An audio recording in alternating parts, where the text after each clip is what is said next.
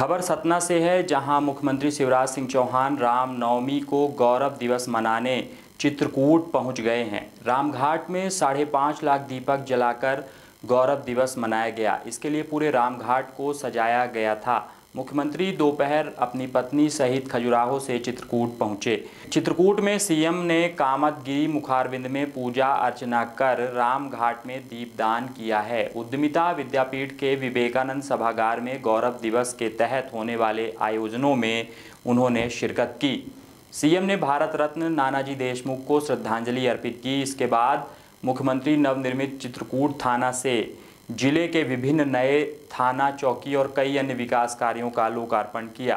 थानों के लोकार्पण के दौरान मुख्यमंत्री शिवराज सिंह चौहान ने अतिथि पुस्तिका पर लिखा कि वे सज्जनों के लिए फूलों से नरम हैं और दुर्जनों के लिए बहुत ही पत्थर से ज़्यादा कठोर।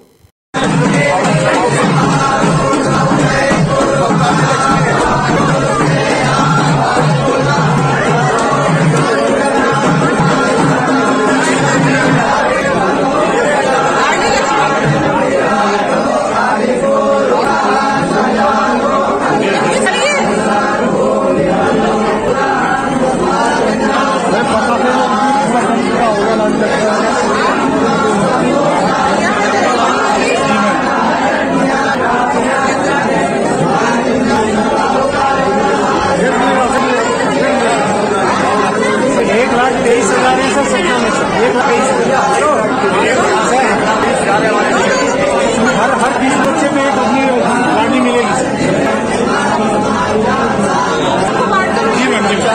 Thank you.